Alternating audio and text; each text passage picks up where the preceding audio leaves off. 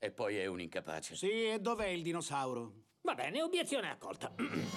Teoria alternativa. Sid mangia il broccolo, il dinosauro mangia Sid e poi calpesta il broccolo, riducendo il broccolo a un vegetale. Buck, di preciso, quando è che sei impazzito? Tre mesi fa, una mattina mi sono svegliato sposato a una banana. Una banana orrenda. Eh, Però l'amavo. Ah, scusa, Buck. Credo che ti sia sfuggito un piccolo indizio. But